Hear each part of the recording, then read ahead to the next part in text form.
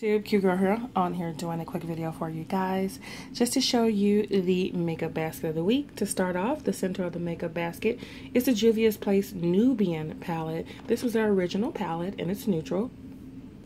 Really pretty, warm shadows and some say that it reminds them of the 350 palette. I can definitely see that as far as the um, selection and undertones.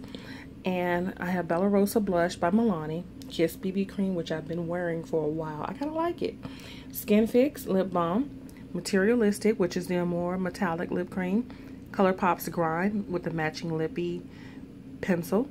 I have Embrace Me, which is um, Embrace Me, Covet, Flirt. All three of those are from the Milani Amore Matte Lip Creams.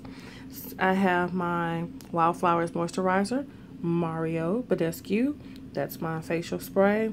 I have Too Faced Better Than Sex Mascara. Fawn's. Um, yeah, Fawn by LA Girl Pro Conceal.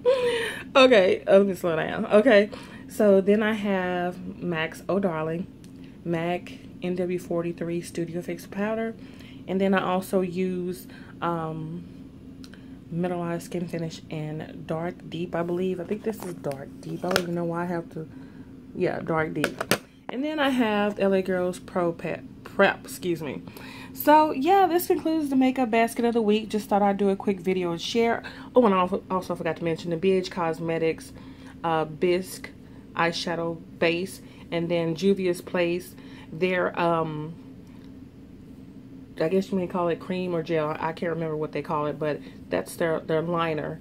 So yeah, just thought I'd share you guys. Thanks for watching and thanks so much for subscribing and your comments. I appreciate it and don't forget to rate, comment, and subscribe. Have a good day. Bye.